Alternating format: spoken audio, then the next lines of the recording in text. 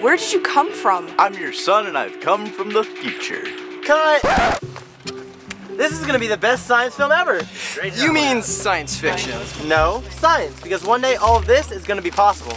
Okay, take five, everyone. Hey, that's my job. No, your job is to get the scientific facts straight. Come with me. What? Uh, Okay, let's start right here. Time travel? Impossible. so far, Forever, actually. Don't you know Einstein's theory of special relativity? don't you know?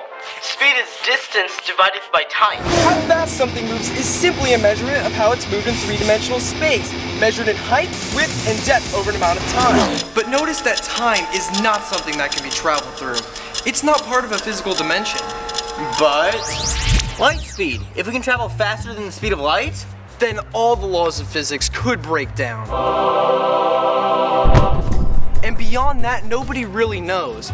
Light travels at 299,792 kilometers per second, and moving anything with any amount of mass at that rate would require infinite energy or zero mass. I don't have that many energy drinks. And you certainly don't have that little mass. True. Wait, what?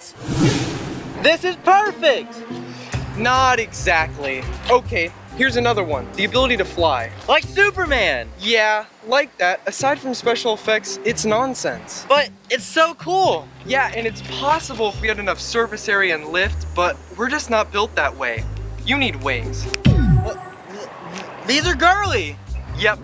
Birds and planes fly because air moves above and below the wings, with the flow of moving air below the wings exerting more pressure than the fast moving air above them, which causes lift. Birds have wings to create a thrust, meanwhile, planes have engines and jets. You you need to take those off. So what if we evolve and grow wings one day? Yeah, good luck with that. Okay, beaming. Yeah, you know, transporting a person from one place to another instantaneously is gonna be so cool one day. Yeah, if you like scrambled eggs. Uh... Because that's how we're all gonna look if we try to beam ourselves. We'd be committing suicide if we tried.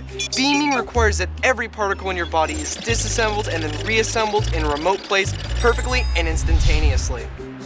Ow! Yeah, imagine that times 10,000, and that doesn't even account for technical errors. Errors? Imagine losing a file, or an email, or just mistyping something, except those mistakes mean that your body isn't put together again properly. Or how would you like to see this? During your transport. Oh my gosh, I did it! I did it! No, silly, I moved it. Uh, what? Why would you do that to me? Psychokinesis, from the Greek words for mind and motion, is the ability to control external matter with your mind. And while it's a cool fantasy, it's totally implausible. Nope, I believe in the Force. Well, if the force does exist, it's extremely weak. Your brain operates with over 100 billion neurons that communicate through electric pulses. And while these pulses technically have an effect on both your inner body and the worlds around you, scientists have never been able to quantify such an effect on any physical object.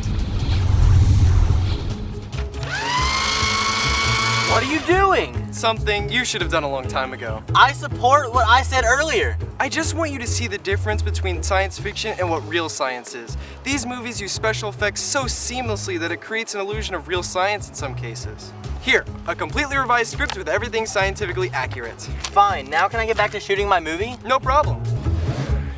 All right, everybody, let's get back to shooting this movie. Hey, where's my zombie? Yeah, I fired him. What? Why? Zombies are impossible. No, they're not. Okay, take five, everyone.